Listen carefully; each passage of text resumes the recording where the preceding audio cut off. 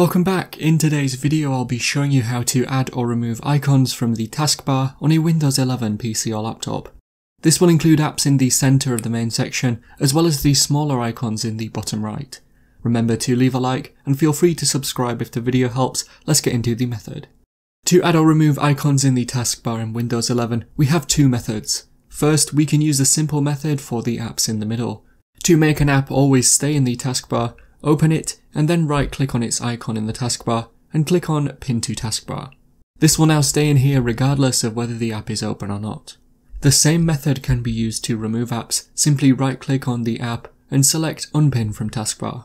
The items in the bottom right can be added or removed by clicking and holding on them and then either dragging them to or from the icon tray.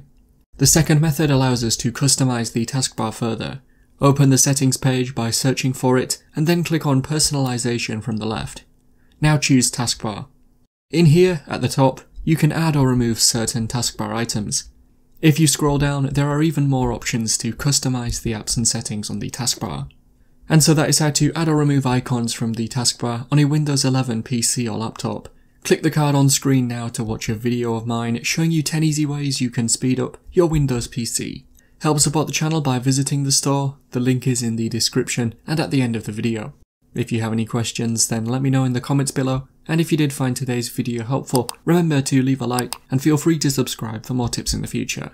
Be sure to stick around to see some of my other videos that you might be interested in. Thanks so much for watching and I will see you in another video.